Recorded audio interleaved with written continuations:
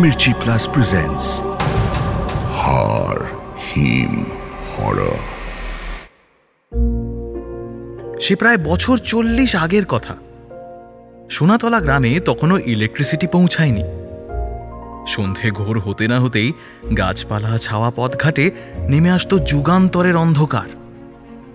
আর সেই সঙ্গে বেরিয়ে পড়তো বাগানে জঙ্গলে ঘাপটি মেরে বসে থাকা ভূত প্রেতের দল। মেছো ভূত গেছো ভূত স্কন্ধকাটা, শাকচুন্নি বেম্মদত্তি ভূতের নাম আর ঘরানা লিখতে বসলে দিন ফুরিয়ে যাবে। সে সময় সোনাতলা ছিল টাটকা মাছের জন্য বিখ্যাত। গ্রামের আশেপাশে অজস্র ভেড়ি, দক্ষিণের বিশাল নদী থেকে তাজা মাছ আসত। রবি আর বুধবারের হাটে। আর সেই মাছের গন্ধে আসত মেছো ভূত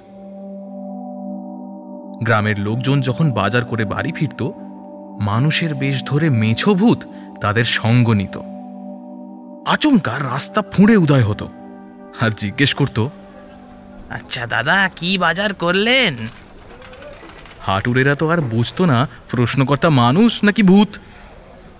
আশেপাশের অনেক গ্রামের মানুষ আসতো সোনাতলা বাজারে। সবাই সবাইকে চিনতও না। তারা বেশ সরল মনেই উত্তর দিত এই তো আলু, পটল, কাঁচা লঙ্কা আর মাছ। ভূতের চোখ চকচক করত। মাছ? তা কি মাছ কিনলেন? বোয়াল? তারপর ইশারায় নিজের ব্যাগ দেখিয়ে বলতো, আমি মাগুর মাছ কিনেছি। যদিও ওই ব্যাগের ভিতরে কিছুই থাকতো না। হাঁটুরে বলতো, না না, বোয়াল না, দেশি ভেটকি। ব্যাস। এরপর কখন যে ভূত কথার ছলে হাঁটু হাঁটুরেকে ভুলিয়ে টুক করে ব্যাগ থেকে মাছটা তুলে নিত, তা কেউ টের পেত না। বাড়ি ফিরে যখন ব্যাগ উপর করত, তখন দেখা যেত মাছ হাওয়া। আমার ঠাকুরদার ব্যাগ থেকেও এমন অনেকবার মাছ নিয়েছে মেছো ভূতে। যেদিন এমনটা ঘটত, ঠাকুমা বেশ মজাই পেতেন। তিনি ছিলেন ঘটি বাড়ির মেয়ে, আর আমার ঠাকুরদা বাঙাল। মেছো ভূতে মাছ তুলে নিয়ে গেছে দেখে ঠাকুমা পিন ফুটিয়ে বলতেন বেশ হয়েছে। মেছো ভূত না ছাই ওগুলো সব বাঙাল ভূত। মাছ দেখলেই নোলা পড়ে মুড়েও চুরির স্বভাব যাবে না। কতবার বলেছি এই বাঙাল গাছের শহরের দিকে চলো তা উনি নড়বেনই না। ঘটিদের দেখে কিছু শেখো মরার পর ভূত হয়ে চুরি করতে আসি না আমরা। ইত্যাদি ইত্যাদি। ইত্যাদি ইত্যাদি। ঠাকুমার খোঁটা শুনে ঠাকুরদা ভিতরে ভিতরে জ্বললেও মুখে কিছুই বলতে পারতেন না। কি বা বলবেন? আশেপাশের দশ গ্রামে খুঁজলেও একজন ঘটি পাওয়া যাবে না যে। সব বাঙাল। ফলে এখানকার ভূতগুলোও যে বাঙাল, তা বোঝার জন্য তো আর জটিল তর্কশাস্ত্র লাগে না।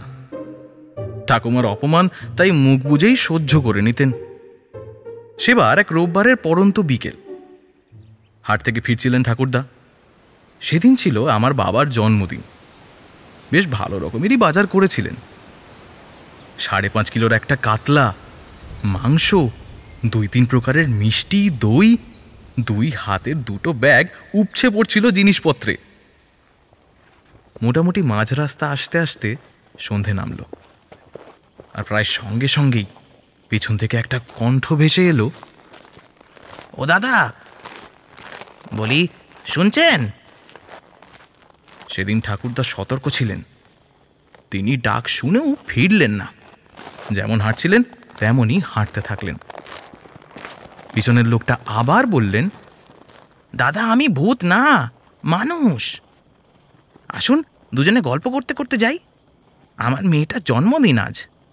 ভয় হচ্ছে, যা জিনিসপত্র কিনেছি, তা না রাস্তাতেই উধাও হয়ে যায়। বাজারে আপনাকে দেখেছিলাম। আপনিও যে মানুষ, তা তখনই বুঝেছি। দাঁড়ান, দুজনে একসঙ্গে যাই। এবার ঠাকুরদা দাঁড়ালেন। ঘুরে দেখলেন দীর্ঘকায় একটা লোক বেশ ভারী একটা ব্যাগ হাতে হেঁটে হেঁটে আসছেন।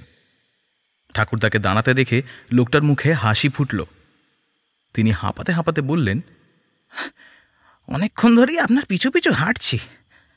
সন্ধে নামায় আপনাকে ডাকলাম। ঠাকুরদা জিজ্ঞেস করলেন, তা কোথায় যাবেন আপনি? লোকটা বললেন আমি যাব গৌড়খালি। আজ আমার মেয়ের জন্মদিন, তাই আপনাদের বাজারে এসেছিলাম। ভালো মাছ শাক কিনতে। কথা বলতে বলতে দুজনে আবার হাঁটা শুরু করলেন। না, সেদিন ঠাকুরদার ব্যাগ থেকে মাছ হাওয়া হয়ে যায়নি। হাওয়া হয়েছিল দই মিষ্টিগুলো। মিষ্টির শূন্য ভাঁড়গুলো দেখে ঠাকুরদার সে কি হাসি। হতভম্ব ঠাকুমার দিকে তাকিয়ে হাসতে হাসতে ঠাকুরদা বলেছিলেন ঘটিরাও কিন্তু কম যায় না চুরি বিদ্যায় কি বলো, হিরোর মা?